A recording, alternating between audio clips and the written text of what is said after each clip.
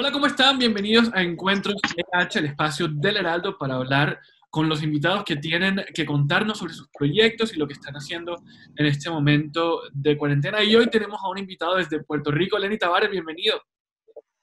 ¿Cómo estamos, hermano William? Espero que estén bien. Eh, Súper contento a toda la familia del Heraldo. Un saludo bien especial desde Miami. Eh, Lenny Tavares aquí, sobreviviendo igual que todos ustedes. bueno, estuviste recientemente aquí en la ciudad disfrutando un poco lo que es el carnaval de Barranquilla. Cuéntanos un poquito cómo fue esa experiencia. Qué rico, la realidad es que era un carnaval de colores también. Eh, no tuve la oportunidad de ser parte y pasar y, hacer lo, que hace divertido que sea el carnaval, pero la energía en la gente se notaba, el entusiasmo, la alegría, la, incluso cuando fue mi presentación, eh, la energía estaba increíble, ¿me entiendes? Yo la pasé súper, súper, bien. Una experiencia muy bonita que tuve en Colombia. Pocas veces toco en Colombia y pocas veces toco en Barranquilla como tal, pero se dio y se dio increíble. Agradecido con el público barranquillero. Qué bien, qué bien. Y bueno, más que bienvenido a volver cuando, cuando se pueda. Em, y, bueno, también supimos que te estás recuperando también del, del coronavirus. Eh, ¿cómo, ¿Cómo fue eso? Aunque estabas asintomático, pero cuéntanos un poco sobre, sobre esa experiencia. La realidad es que eh, tuve COVID-19, eh, salí de esto aproximadamente tres semanas. Cuando supe que tenía el, el, virus como tal, fue porque perdí el olfato y el gusto. Y ya habían salido varias personas que habían tenido los mismos síntomas y yo dije, lo tengo, no, me voy a, no voy a perder el tiempo de hacerme la prueba. Okay hace una semana y media fui para Puerto Rico. Digo, hice la cuarentena en Miami, me quedé tranquilito, gracias a Papito Dios no pasó mayores, no tuve problemas de respiración, de con la respiración, solamente fue ese síntoma. Y ahí lo que pasa es que la semana pasada fui a Puerto Rico a hacerme las pruebas para saber que no tenía nada. Y definitivamente estaba bien, por el momento estaba bien, no, no tenía el virus activo, pero sí lo, lo había tenido y pues tenía los anticuerpos. Eh, pero ya, ya, supuestamente estoy fuera de riesgo. Yo, como quiera, súper asustado en el sentido de que no sé si me puede volver a dar, no sé si se saben muy pocas cosas de esto.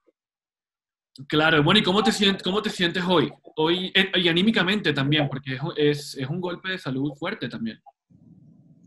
Eso fue lo más que me afectó emocionalmente. Yo siento, no tenía ganas de hacer nada, no tenía ganas de hablar, no tenía ganas de, que me viera, no tenía ganas de cortarme el pelo, no tenía ganas de vestirme, no tenía ganas nada, ni de bañarme, tenía ganas. Y, y la realidad es que eh, ahora mismo estoy bien, o sea, estoy como, como si no me hubiese pasado nada, solamente con el miedo de volver a cogerlo y, y recuperé, yo siento el ánimo, sobre todo el ánimo, para poder terminar mi disco, mi álbum crack, para poder hablarle a los fanáticos, para poder hacer lo que, a lo que yo vengo acostumbrando toda mi carrera a los fans, ¿me entiendes? Claro. Deja que me tengan ahí todo el tiempo a la mano. Y de verdad que me agarré unas vacaciones obligatorias de casi tres semanas. bueno, y precisamente eh, de eso, vamos a hablar puntualmente de los dos recientes lanzamientos que, que hiciste. El, el, más reciente que es una colaboración con, con, Justin Quiles, La Pared 360. Cuéntanos sobre, sobre esta canción en particular. Mira, La Pared 360 es el primer sencillo de mi álbum Crack, es con Justin Quiles, producido por King Swift. Eh, hicimos el video en Colombia, hicimos una competencia de twerk en una pista de reggaetón, en la pared 360. ¿Por qué la pared 360? Porque en la pared fue que yo me enamoré del reggaetón, en realidad no fue escuchando a nadie, fue bailándolo. Y fue en una pared y yo dije, nunca he hablado de esto, nunca he cantado de esto. Es la primera oportunidad que tengo de empezar de cero nuevamente con mis fanáticos, con un nuevo proyecto.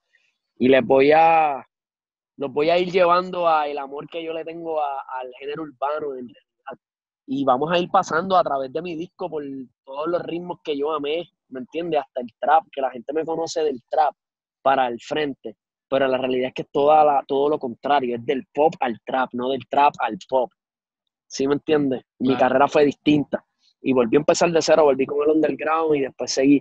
Y la gente va a ir, lo más importante es que la pared 360 es el primer tema, y es un perreo. Acerola fue el segundo tema con Rafa y Cauti y, y, Cauti, Rafa Pavón y Cauti, y es otro perreo también como Flauta Toguchi, así en esos colores, porque Cauti también hace las pistas. Y sentarse con Cauti a escribir y a, y a componerle es una muy buena experiencia. Claro, y bueno. Agarramos esos dos bastagazos y al público Claro. Antes de profundizar en, Acerola, sigamos hablando de la pared 360 porque el video está colorido, está divertido y que, y que, al final, al fin y al cabo, pues ya hoy estamos todos acostumbrados a vivir con el reggaetón y a escucharlo y como que estamos como acostumbrados, pero parte de ese, de ese gran boom que tuvo hace, hace más de una década fue por, por los beats, porque enamoraban e invitaban a, a bailar a todo el mundo, a moverse. La pared 360 tiene esos sonidos clásicos del reggaetón tiene unas baterías y un dembow clásico la pista. Fueron las cosas que a mí me motivaron, ¿me entiendes? Que yo escuchaba ese tema y decía, eso, ok, reggaetón, o sea, reggaetón es ya para acá. Y en el verso hay cortecitos de Yomo, hay cortecitos de Don eh, te va transportando el tema. Hay un cortecito pequeño del Guayna, de la combi de Nalguitetita. Eh, ese fue el viaje del tema realmente generar un, un, all around, un viaje completo de lo que es el reggaetón para mí. Y como es la primera vez que tengo la oportunidad de presentárselo así a mi manera, con Warner Music Latina, no tuve miedo y lo zumbé con Jay que Jay fue el primero que escuchó el tema y dijo, por favor, unas barras para ese tema. Y yo, Claro, más que un gran espaldarazo y el video que se nota que, que son muy cercanos también, que son muy amigos. Cuéntanos alguna experiencia del rodaje. El rodaje lo hicimos en Medellín, Colombia. Lo hicimos con Tokyo Films. La directora Laura Castellanos Torres. Eh, somos socios en la compañía Tokyo Films. Creo que tiene la creatividad y, el ojo para llevar mi carrera visual a otro nivel y por eso estamos trabajando de la mano. Eh, papi, el rodaje, imagínate, una competencia de twerk en vivo, pero grabada. Y dale primera concursante y dale, fue difícil concentrarse y, fue difícil, ¿entiendes? Pero se pudo, se pudo. Los participantes se rompieron, fueron, se les creó una ropa, se les creó un concepto y, y rompimos. En verdad la gente le gustó y lo sigue viendo. Claro que ya está disponible en YouTube para que todo el mundo lo pueda, lo pueda ver el producto final de lo que fue este, esta canción y además que, como decías ahorita, Acerola viene también en este, en este disco, hace parte del proyecto y también es colaboraciones. Cuéntanos más sobre este tema. Acerola, eh, otro perreo, yo le digo Flow Cauti porque cuando yo escuché Tato Gucci de Cauti y Rafa Pavón, yo dije, esto es un color de reggaetón bien distinto y me gusta mucho. Esto está, esto es crack, esto es crack. Cuando me siento con Cauti, que yo tengo una amistad con Cauti aparte, eh, nos conocimos por la música, pero mi relación con él es aparte. Eh, le digo, baby, quiero un tema tuyo para mi disco. En ese momento éramos de la misma compañía. Me, me enseñó un cortecito como que de la pista de acerola. Palo, palo. Y ya, y nos sentamos y nos encerramos. Eh, Cauti y yo a terminar la acerola con Rafa Pagón. el video lo hicimos en nuestras casas. Lanzamos el tema como que porque los fanáticos querían música y, estaba ese tema que para mí era sabroso. Yo sabía que no tengo un año, en un año más no voy a visitar una discoteca. ese es el otro, otro de los temas del disco que tenía muy discoteca y por causa del coronavirus pues dije, pues vamos a soltar la discoteca, vamos a regalárselo a la gente. Vamos a hacerle un video con las mismas condiciones que, tiene, que tenemos todo el mundo, nuestras casas y nuestros teléfonos. Y nos pusimos creativos, le hicimos un poquito así de editaje básico, pero yo creo que el video se siente bien orgánico el video se siente que, que, eso mismo, que nos salimos de la zona de confort, nos olvidamos que éramos, qué sé yo, los artistas que, la gente está acostumbrado a, ver en los videos y, sacamos el lado humano artista, ¿me entiendes? Artístico humano. Y eso fue Cauti, Cauti jugando PlayStation, yo afuera de mi casa fumando, eh, en el estacionamiento este, y, y, Rafa Pavón en la piscina de la casa. Bien natural, bien natural. Claro. ¿Y cuál es el reto? ¿Cuál fue como el más grande reto de hacer un video así, como cada uno por su lado, sin mucha interacción y, con el celular?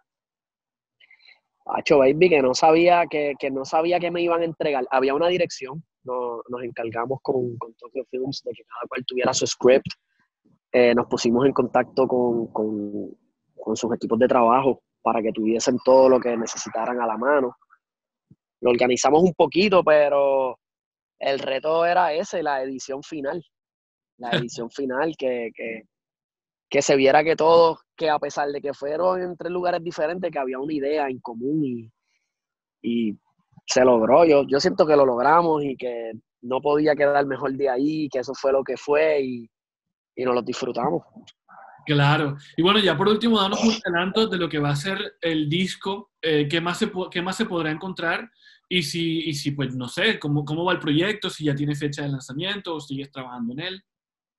Mira, sigo trabajando solamente en los toques finales que tienen que ver con permisos de colaboraciones, este, masterizaciones de dos temas, me faltan todavía, toquecitos, pinceladas.